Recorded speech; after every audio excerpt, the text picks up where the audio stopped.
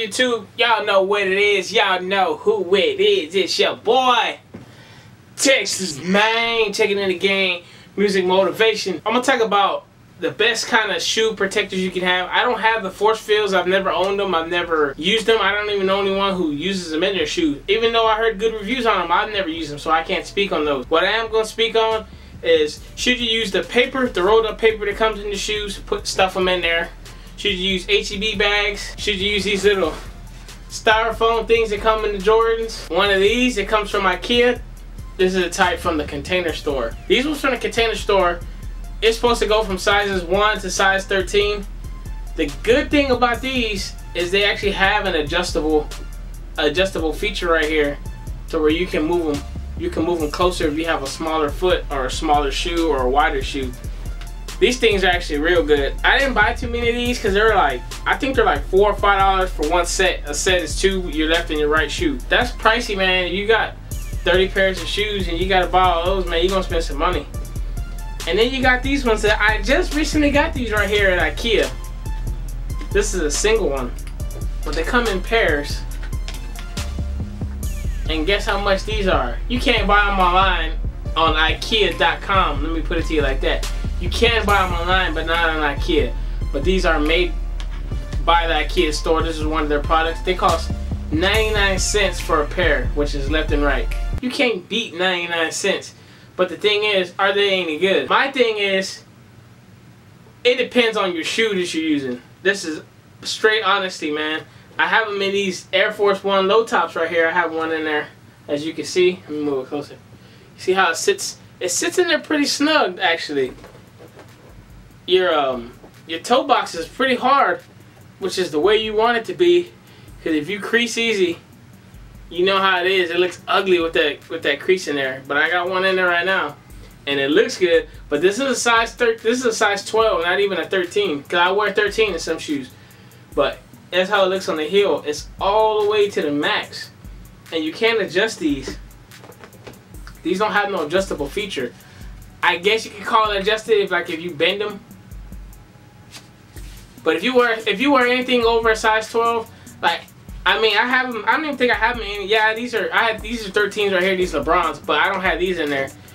They don't fit real good once you get over a big size. So I'm gonna tell you if you, from my experience, a size 12 on down, anything underneath a 12, these things will fit good. They should fit good. Uh, the downside is them in these is there's not as much there's not as much width in there. You see how that width is with the factory Jordan ones versus this? The more width you have, the harder it's gonna keep the whole shoe. That's the downside of them. So you know, the Jordan ones come with them. So you know that fits perfect. And you ain't gotta go, and the Jordan ones don't have to go in the Jordan shoes. You can put them in another shoe if you want to. But I traditionally like to stay with my with my Jordan. Uh, what the hell are these called? Shoe? I don't know. You want to call them um, shoe trees. I usually keep my Jordan shoe trees in the Jordan shoes.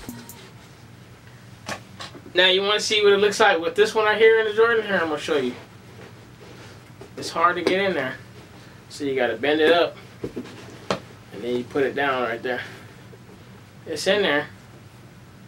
And it's covering, but look. It's not bad for one for 99 cents, one dollar. It's soft on the sides though. And this is a this one right here is a 12. See, so if you wear 13, which like I said, which I do in some other shoes, it's gonna cover even less spot on less space on a toe box. It's not bad, I'm telling you. If you lose if you lose the factory Jordan ones, then IKEA ones are worth it. But this is a size 12 and uh, and it's extended all the way out. I don't know if you can see that. It's extended all the way. So there's no, it's getting a full toe box all the way to the toe, but the width isn't that good. So like I said, with the Jordan shoes, I, I would tell you to stay with the factory Jordan shoe tree. This is a Nike, of course. So you see how that Nike looks? This is another Nike. This is a 13 in LeBrons. And this is the one from Ikea. I'm sorry, this is not from Ikea. This is the one from um, the container store, and it's adjustable. But look at the look at the width in this. This is $4.99. Like I said, it's like four or five dollars for one. The width is better. Not by much, but it is better. The, the IKEA one curves down down here, so it's it's losing out. It loses out in width right here. See how that one is? Almost, but no cigar. You know what they say, you get what you pay for. When I had this one in this LeBron shoe right here, this thing is all the way in there, and it is snug in the toe in the toe box. Snug, baby. Let me try the other one in there. I ain't even tried it. And like I said, the thing I like about this one is you can adjust it. And this is a size 13, so if you got something smaller than a 13, the container store ones will work good for you because like I said, you can adjust it. Let's see how this one works in there. I have it in there. First time seeing it. Nice and crisp on the toe box. But when you get to the pinky toe area, soft as cotton. See? That's the thing I don't like. That's the only bad thing. Now, if you don't have anything in your shoes, and using that rolled up paper, you know, the the um, the wrapping paper stuff, that's not bad. But if you want to keep your shoes professional and you don't want to get silverfish and all that stuff, man, you gotta step it up to the next game. Especially if you're a sneakerhead. I'm gonna tell you, for this size 13, and you have a wide shoe, don't use the IKEA ones. You ain't gonna you ain't gonna be happy with the results. There's no point in spending the money and having all this space over here. Potential room for you still to have a crease if you wearing the hell out of them if you playing ball in them. Now for the second round right here, we got my wife's Space Jam. I forgot what size this is. I think this is a five. And, this is a six Y. This is her Space Jam. So I'm gonna give you a different look so you can see. I took out the cardboard. I don't know what the heck I did with it. Here it is. This is her factory cardboard from the Jordan. I just went ahead and adjusted this shoe tree right here to fit the Space Jam, well, to fit it on the smallest level because you can adjust it. Has the holes on it, you see? That's on the smallest level.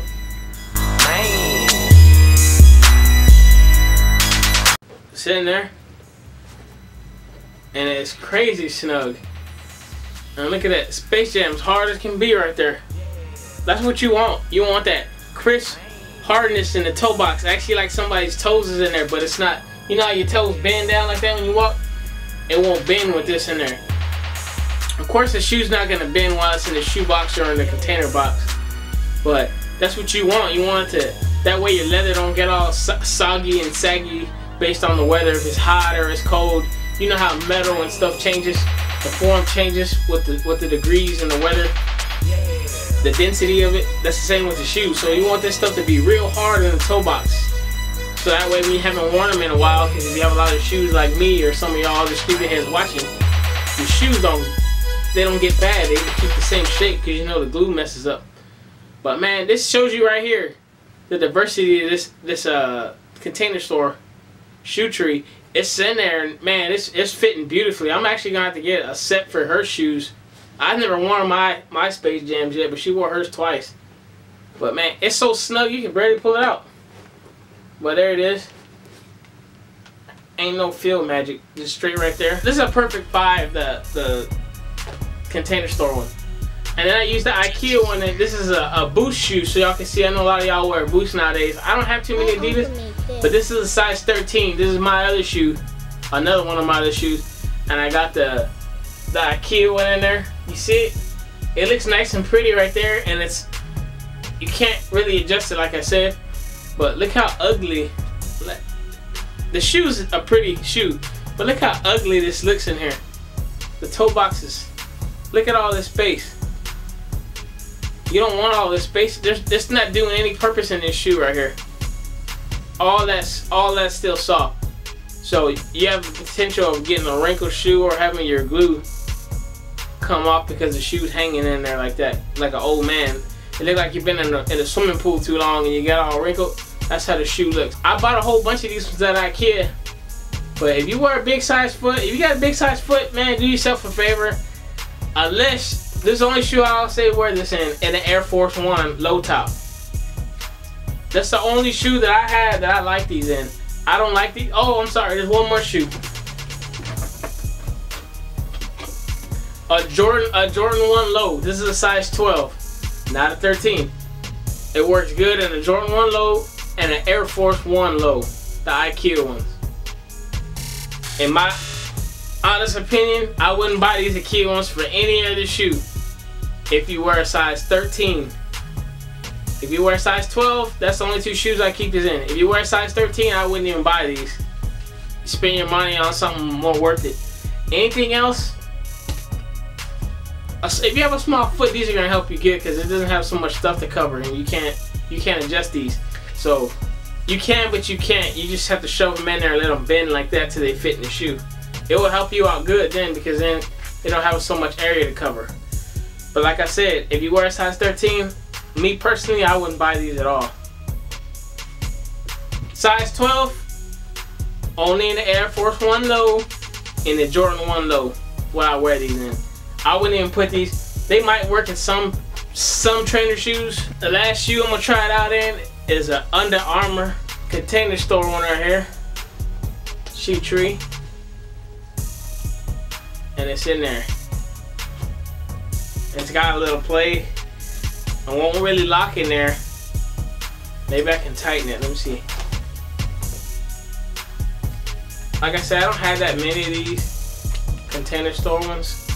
Because for $5 a pop, and you don't know if they work, you're just going off of reviews. Oh man, that's solid right there. I had it at the wrong setting. Perfect five, baby. Solid. These are the best ones I use. I'm not knocking, like I said, I'm not knocking them other brands, Reshoevn8r and some of them other brands I probably never even heard of. But I'm just telling you the ones that I have. And let's try the IKEA one and the same Under Armour. You gotta bend it right here. Let's see. It's got a snug fit. It's good, but look. It's loose on the sides, but it's good right here. If you're gonna use them for, I say, straight regular running shoes like these, and you're gonna tear them up anyways, I guess it'd be safe to say oh, they'll work alright on them. Maybe like a two, three, uh, three stars. But if you got shoes, dead stock shoes and stuff like that you don't want to use, I wouldn't buy these like I said unless unless it's a size 12 and under. So to recap this video, let me move my wife's jam out the way before I drop it in. Your first choice is going to be the container store.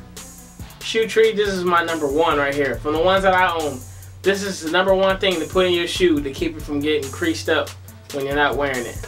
Number two is your Jordan shoe trees, your factory ones. If those get torn up and you and you can make it to Ikea, then go get you some of these $1.99. Remember, for size 12 and under only. If you wear bigger than that, do not get these. I wouldn't use them. I wouldn't recommend it. If you can't get to Ikea and you have a small, a smaller foot under size 12, and you don't have enough of these things to put in your other shoes, you can use trash bags roll them all up, put them in there, or you can use socks. If you got long socks, roll them up, ball them up, make them into the ball, and put them in there. Temporary, man. You don't gotta buy everything at once. You got 30 pairs of shoes, go in there and buy two at a time until you have enough to have all your shoes have a shoe tray in them. This concludes my video. I thank y'all for watching. Let me know if y'all got any comments or concerns, man. Hopefully I'll get back and answer to y'all uh, and answer them for y'all. I really thank y'all for watching. Don't forget to like if you will, subscribe if you trill. Watch my other videos, boy. We about this thing. Yeah.